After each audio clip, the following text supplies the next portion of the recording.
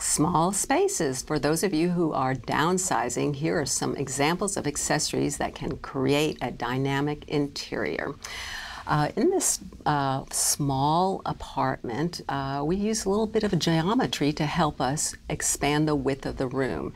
We put the rug on a diagonal, and uh, naturally, in a right uh, triangle, the hypotenuse is longer, so we are then complementing that diagonal with the screen in the back, so you lose the corner. Um, the main accessory here stops your eye is that medallion, and as you can see, it just is um, just very strong contrast. It relates to the screen.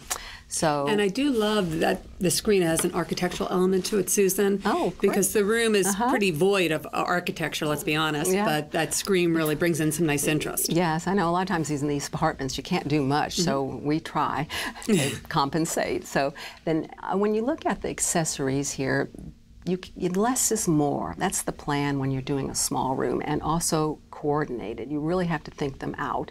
And here we have small pops of color, such as the orange vase and the yellow vase and the, uh, the yellow orangey lamp. Um, then I feel that the, uh, the armoire is very heavy for this room. So I feel the screen was very, very important to balance the armoire. And then in the next slide, we have uh, the actual dining room to this same small apartment.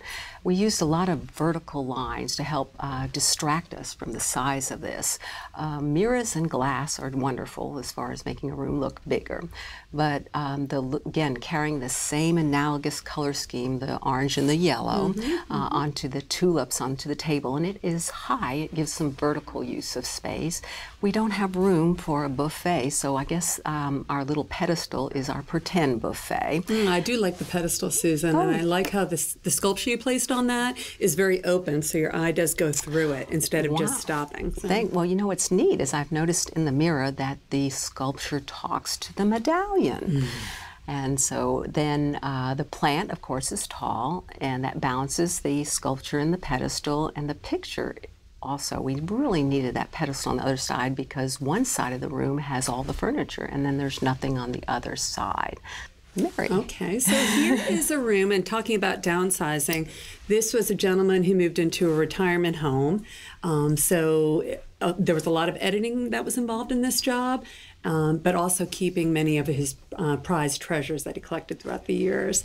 So here we're looking at a room that appears to be very symmetrical, but yet it is an asymmetrical room. And when you look, the sofa, then the two chairs.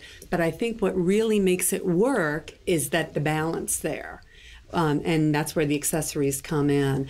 And the use of color. The color is used in the rug and it carries up the wall and over to the window treatments. I really think mary that for uh, that is a wonderful treatment as far as being able to use the lighter colors to make the room look bigger. Also the spa blue also that color recedes. Mm-hmm. so therefore it makes the room look bigger as well. Yep. Thank you, Susan. Here is a shot of the sofa wall there. And again, I noted the uh, asymmetrical asymmetry. And you see that here, the end tables do not match, the lamps do not match, but yet they somehow balance each other and do a give that appearance of symmetry. And again, the use of color, and you really see it here in the wall art. And that blue is carried down into the rug and again on the window treatments. I like the fact that you don't have a, uh, a dark border on that rug that would define the small space. The fact that it blends right into the carpet helps make that space look bigger. Oh, Susan, I didn't notice that.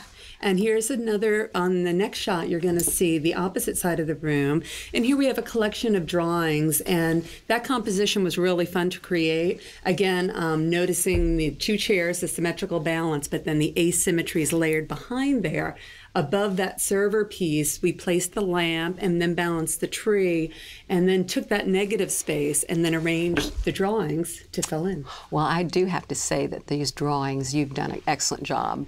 Normally, when we do the drawings, we tell people that you have to have like a a vertical line and a horizontal line, and you take those pictures off from that.